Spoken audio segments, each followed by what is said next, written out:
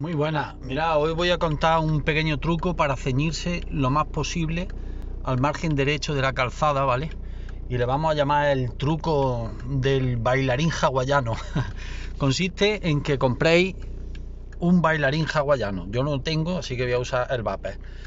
Eh, compráis un bailarín hawaiano y lo ponéis en la mitad, justo en la mitad del salpicadero de vuestro coche, ¿vale?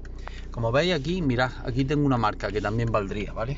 Pero si ponéis un bailarín hawaiano no falla. Y ahora os ponéis sentado en vuestro sitio, giráis un poco la cabeza, veis que está el vape un poquito más para allá de la línea, pues ahí es porque tengo el coche absolutamente pegado a la línea blanca. Ahí podéis verlo. ¿Veis? Estoy prácticamente pisándola.